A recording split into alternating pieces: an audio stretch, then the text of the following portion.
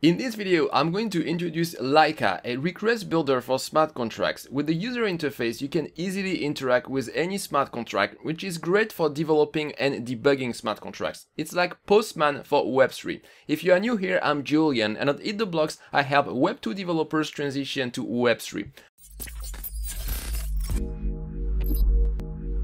Laika was created by a team of university students in Thailand who wants to make it easy to, to develop apps on Web3. Laika currently supports Ethereum and any EVM compatible chain like Polygon or Binance Smart Chain. And it also works with a local instance of Ganache. Let's have a quick demo. To use Laika, you will need a wallet like MetaMask and some native tokens to pay for transaction fees like Ether if you want to send transaction.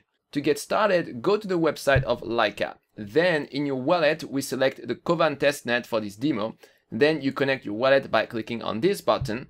In the left side, you have a workspace. This is where you define your request. Laika provides an example counter smart contract on Kovan to try out the tool. For each function of a smart contract, you can find the corresponding item in the left bar. You can execute both read-only function, this won't cost you anything, and also function that modify data. For this, you will need to send a transaction and pay transaction fees. Let's try getCount for example. We click here to send the request and we see the result. So without a single line of code, we executed a function of our smart contract. This is very useful for development and debugging for the smart contract that you create, but it's also useful to poke around existing smart contract and learn how they work. At this stage, the product is still quite similar to what we already have in Remix, but with a better UI. And this is just the beginning as the team of Laika is going to add a lot of other features so that Laika can deserve its comparison with Postman. For example, soon you will have the ability to install plugins, synchronize your environment on the cloud, and enjoy new features for collaborative workflows. So go try Laika, I put the link down below. That's it for today,